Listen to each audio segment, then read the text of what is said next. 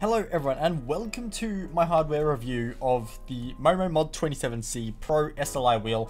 It's an absolute mouthful and I'm not going to be doing too many of these hardware reviews, it's not my specialty, um, but the guys who make this hybrid racing simulations do a fantastic job and I wanted to give them a bit of a shout out and a bit of a review on what I think is one of their best pieces of equipment they're currently putting out. Straight off the bat, one of the biggest downsides to this wheel is of course it's not, unless you've got a special quick release, not compatible with your Fanatec Elites, your you know Thrustmasters, your Logitechs, whatever it might be. This is definitely something made for a direct drive wheel, a Simucube, an Augury, something with a quick release that is custom made and makes life very, very easy. So if you don't have one of them, this isn't going to be the review for you, but if you do, I'm going to be going over why I think this is definitely worth your money. So right off the bat, why did I choose this wheel rim over everything else?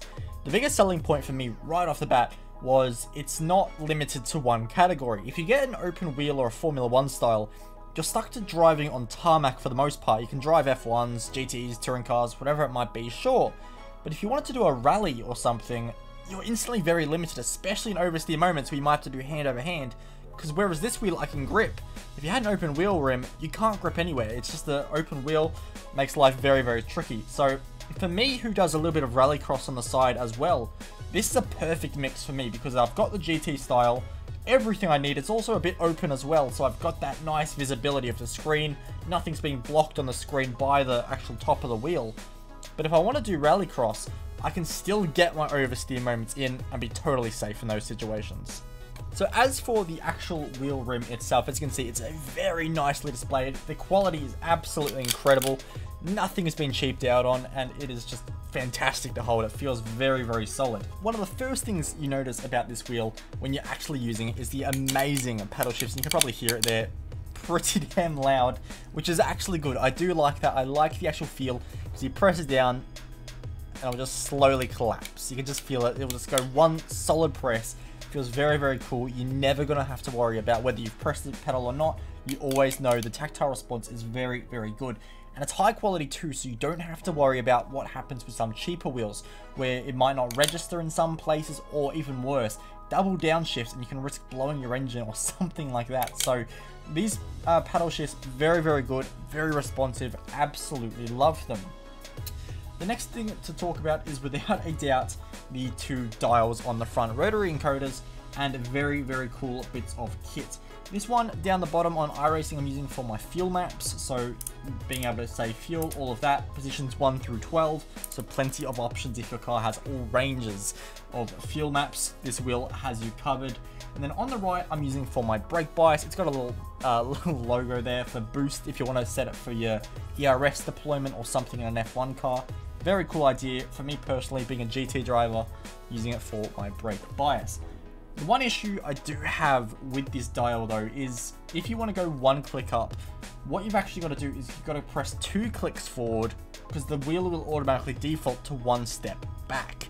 I think it's just a bit of a electric like wiring glitch or something along the lines, but basically if you go two clicks forward and then it'll make itself go one click back. So if you only press it forward once, it will go back one step itself.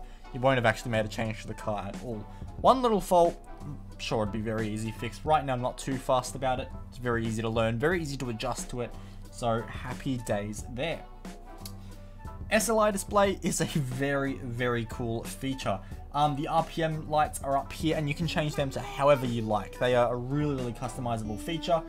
So you have them from the left to right if you want them. You can have the F1 style where they'll start from the outside and slowly meet in the middle and that's when you shift. Uh, I think the Mercedes AMG GT3 uses that system as well. Um, I've actually gone for a similar feature to that, but it's actually only a single light. So it'll only be one light uh, going from either side to meet in the middle. It looks really, really cool. Hard to explain, but otherwise a cool feature. Fuel numbers on the left, I have my position on the right as well, and then on this side of the screen, I actually have myself with uh, my best lap delta, helps me with consistency, because I feel like you actually get better information and reference off of the display than you do on the iRacing delta bar. I found myself using this a lot more than iRacing itself, which is cool. The only disadvantage, of course, you have to look down at the wheel instead of focusing on where you're driving, but otherwise, very cool. In the middle, what gear you're using, always helpful, especially if you are driving a Formula 1 car where you've got 8 gears or a truck, plenty to manage. there as well. Little warning lights down here, I've got them set for all kinds of features. Oil uh, temperature light, you know, fuel low light. Uh, I've got this side set to mainly my flags. Green flag, yellow flag, um, and then also checkered flag. I don't know why I've got it set to the checkered flag. Usually know anyway, but you know what? If I can do it, I will do it. The buttons on the wheel are very, very nice to press. They're very solid presses and you know exactly when you are going to be pressing them, so very, very nice indeed. Pit limiter actually has a little bracket on it, which I'm very happy about. I'm sure um, Cam dances as well. In the uh, Imola 500 I did, I accidentally put the pit limiter on in front of um, Cameron Dance and we made contact. Yeah, really nice, man. Good job. Wrong button. There, both outcasts were fine, but overall I accidentally bumped the uh, pit limiter, and um, that meant I wasn't able to uh, use my push talk because I kept bumping my pit limiter. With this, it's got a protector on it, so no way of accidentally bumping the two buttons together. So if you're going to press the pit limiter, you've got to manually press it, which I think is a lot better and a lot more use as well. The wheel does come with the HRS quick release, which is just one of the best quick release systems I think on the market. Simply chuck the wheel in and then flip it down.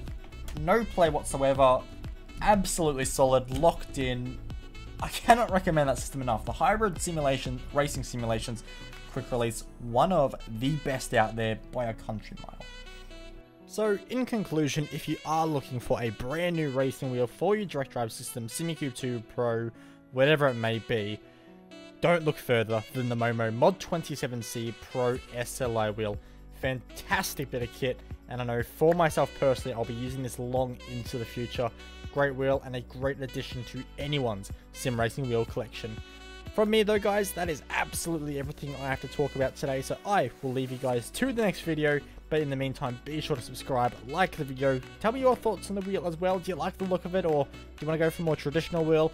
And also follow me on Twitch streaming Mondays, Wednesdays, and Fridays. And of course, new YouTube videos every Tuesday and Thursday. So guys, I appreciate all the support of my last video. Absolutely brilliant. And I shall see you guys on Thursday.